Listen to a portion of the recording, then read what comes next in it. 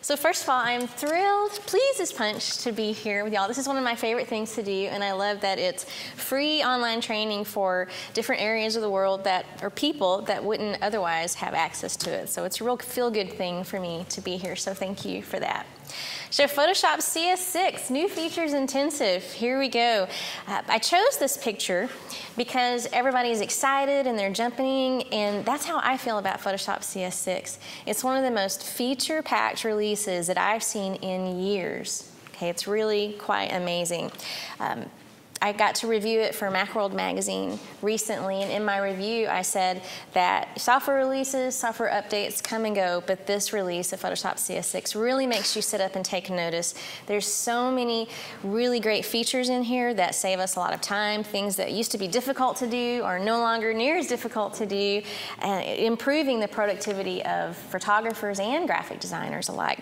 There's also a slew of upgrades and new features in this release that have been on customers' wish list for years. For example, the ability to duplicate multiple layers at the same time with a keyboard shortcut. So we're gonna go over all of those new features. And like Kenneth said, even if you haven't upgraded to CS6 or you may not be planning to right away, you're still gonna learn a slew of wonderfully non-destructive editing techniques and just good practices for your Photoshop life. But before we dive into that, I want to talk about just a couple other things real quick. If you guys want to connect with me, I would absolutely love it. I'm a very social person. My website is photolesa.com. That is Lesa with an E, which to me is a logical way to spell it. Lisa. See, it's not Lisa. uh, you can also fire me an email, uh, lesa at photolesa.com. And I'd love for you to connect with me on Twitter. My handle is photolisa. You notice a theme here. and if you happen to click the like button on my Facebook page, you can download some free goodies. I've got two page cheat sheets for Photoshop. I've got a two-page cheat sheet for Elements, if there's any Elements users out there in the great interwebs, and also a two-page cheat sheet on iPhoto, because I also wrote an iPhoto book. So those are completely free. Just click the like button and you can download those. And speaking of books, I've got a wonderful book discount for you here. Um, on the iPhoto 11 book, Photoshop CS5, and Photoshop CS6. So like we were saying earlier, I'm really proud that the book is out now. We worked really hard to get it out as soon as the software shipped, and it is shipping now. And we're going to have them delivered live in class tomorrow, and I haven't even seen them. so this will be really exciting for me. if you want to purchase it over on O'Reilly's site, you can do that. If you enter the code AUTHD, A-U-T-H-D, you will get a discount. But to be honest, the price on Amazon right now is incredible. So if you want to trot on over to Amazon to pick it up, you can do that. And I've got a special link for you that Kenna will share in the chat room. It's lesa.in and, we've got a, a, little acronym that I made up here, PSCS6MM. So it stands for Photoshop CS6 Missing Manual. So you can pick that up over there.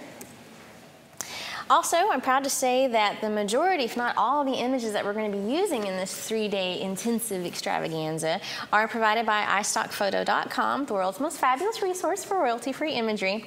And photographers always ask me, well, why the heck would I need stock imagery? Because I'm a photographer and I take my own pictures. Well, that's all well and fine. But let's say that you took a, a photo shoot of a wedding and you wanted to make a creative collage. Say you want to blend the happy couple in with some roses. You might not have that bed of roses shot. So that's a good opportunity to purchase stock imagery. And if a bed of roses isn't appropriate, you can still find everything you need on iStock Photo. It's okay to laugh in studio. And iStock has been kind enough to give all the students of Creative Live a special discount. You can go to the URL istockphoto.com slash creative live php and you will receive a 20% off discount on your first credit purchase. So that's a good deal. And feel free to pass that deal along. More people take advantage of that, the better. All right, let's talk about Photoshop now. So I wanted to start out and talk a little bit about pricing and this newfangled thing called the Creative Cloud that everybody's trying to figure out what the heck it is. So here's a little chart that gives you an idea of the pricing. all of the upgrades that I mentioned are only good if you're coming from CS3. Unfortunately, the upgrades are not good for CS2, CS1, or anything like that. So you have to at least have CS3 to upgrade. If you purchase just Photoshop, it's 200 bucks, okay, per user. Okay, and Adobe has promised or threatened that they're going to be updating their software every year. So if the price if the prices stay about the same, so you're looking at $200 per person per year, okay, for just Photoshop. If you buy the full version, it's about $700. And the Creative Cloud is another option now, and it includes nearly all of the Adobe applications. So we're talking about Photoshop, Illustrator, InDesign, uh, Media Encoder, uh, gosh, Fireworks, Dreamweaver, Acrobat, literally everything that they make, except for the iPad Touch apps. Okay, so those are not included in the Creative Cloud. So what this means is, if you haven't bought any of this software, you haven't upgraded in a while, you can literally spend $30 a month per user for a year and you do have to sign a one-year contract, and you will get access to all of that software. Okay, so if you've not bought into these things before, that might be a good deal for you. Okay, uh, that price is only good for one year. After one year is up, it's going to go to $50 per user. And I believe, yeah, for year two, and you still have to sign, you know, the year contract. If you don't want to sign a yearly contract, then you can get the Creative Cloud apps for $80 per user per month okay, and that's with no contract. So in comparison, you can look at, okay, well, if I get all those apps with the Creative Cloud, you used to get all those apps with the Master Suite. You still do, except for there's two missing. Adobe tucked in two new applications into the Creative Cloud called Adobe Muse and Adobe Edge. And Edge is their animation software. It's rooted in HTML5. They're kind of getting away from Flash a little bit, going to HTML5. So that's their new animation editor. Uh, the other new program is called Muse, and that's simply a WYSIWYG HTML editor. So it lets graphic designers build websites without actually having to know any code. Thank Thor. so those two applications are included with the cloud. They are not included in the master suite. Okay. So Master Suite, if you're upgrading, is 525 bucks.